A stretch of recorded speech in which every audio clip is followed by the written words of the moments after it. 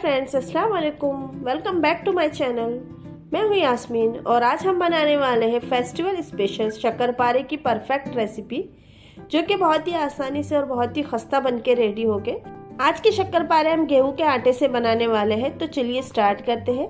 लेकिन please video को and तक देखें और एक बार रेसिपी को ट्राई ज़रूर करें और अगर रेसिपी अच्छी लगती है तो please like share and subscribe my channel शक्कर पानी बनाने के लिए यहाँ सबसे पहले मैंने एक कप गेहूँ का आटा ली हूँ।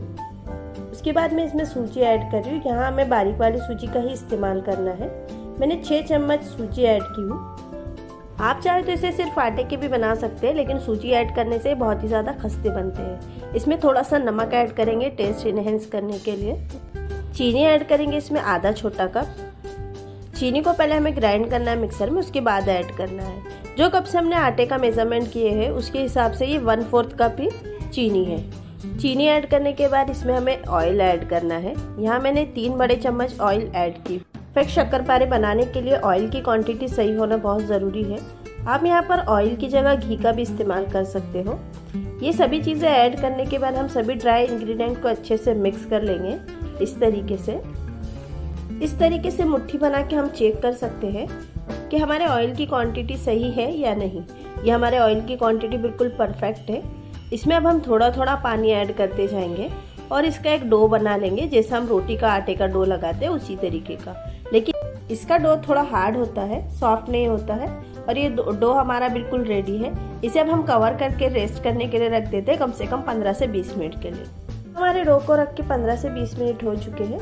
इसे एक बार हम मसल लेते हैं। अगर आपको लगता है कि थोड़ा सा हार्ड है तो इसमें आप हल्का सा पानी ऐड कर सकते हो। ये मेरा डो परफेक्ट है, मुझे पानी की ज़रूरत नहीं है।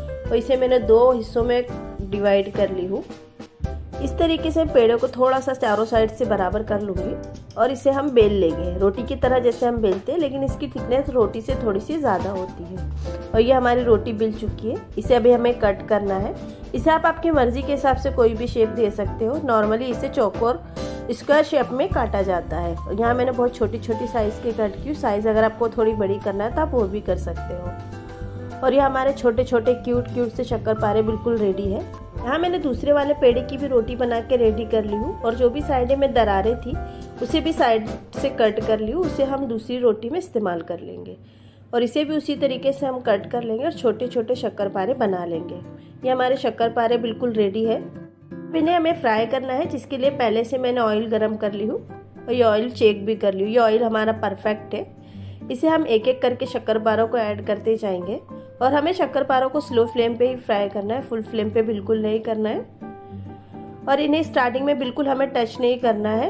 ये जब जैसे फूलने लगेंगे, देखिए अच्छी तरीके से फूलने लगे उसके बाद ही हमें इसे टच करना है, इस तरीके से। जैसे हमारे शक्कर पारे अच्छे से फूल जाते हैं, उसके बाद दो मिनट हमें गैस का फ्लेम हाई करके इसे फ्राई करना है, इस तरीके से। और फिर से हमें स्लो फ्लेम पे इसे फ्राई करना है। इसे फ्राई होते हुए यहाँ सात से आठ मिनट हो चुके हैं और ये हमारे शक्कर पारे अच्छे से फ्राई हो चुके हैं, ये देखिए।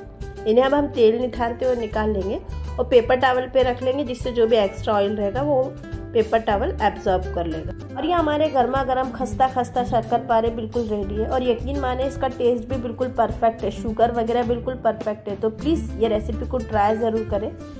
और मुझे कमेंट करके ज़रूर बताएँ आपको रेसिपी कैसी लगी। और अगर रेसिपी अच्छी लगती है तो please like share and subscribe my channel thank you for watching